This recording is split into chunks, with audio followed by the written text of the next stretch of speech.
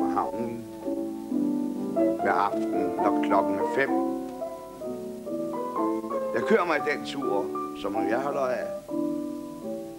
Den eneste tur, jeg får råd til at tage.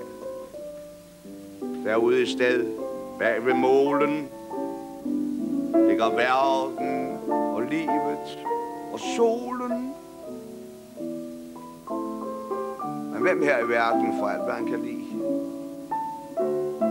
Sådan tænker jeg altid, når dagen er forbi. Det var den vise, der egentlig gav mig dette, du må ud at sejle, ud at sætte op. Farvel. Farvel. På gensyn.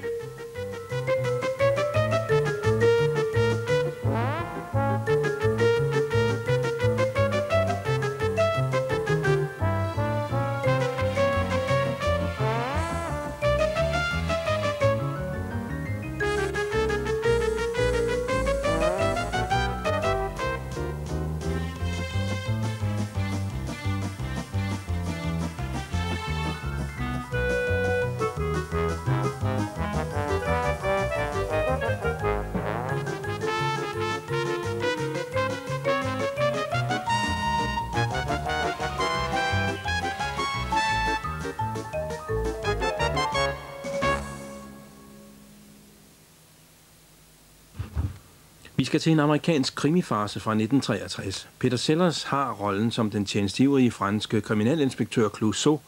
Han har i 15 år været på sporet efter en international 20-bande, der er ude efter prinsesse Dalas kostbare diamant, kaldet den lyserøde panter.